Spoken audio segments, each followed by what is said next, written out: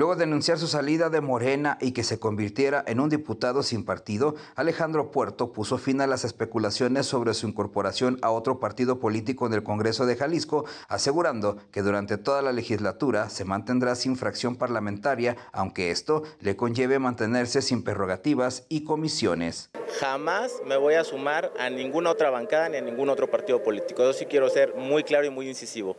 Voy a entrar en un momento de eh, construcción política muy distinta a la que está acostumbrada la clase política local, también algunos medios, que piensan que cuando uno se sale de un espacio, pues de inmediato va y se mete otro. Eso es un problema de cultura política y yo no voy a hacer eso.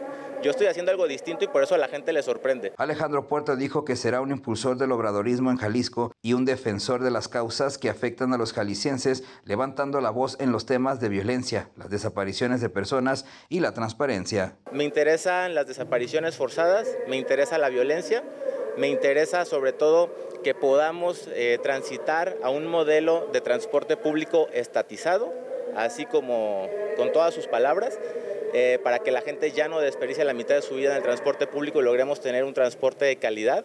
Me interesa la lucha contra la corrupción.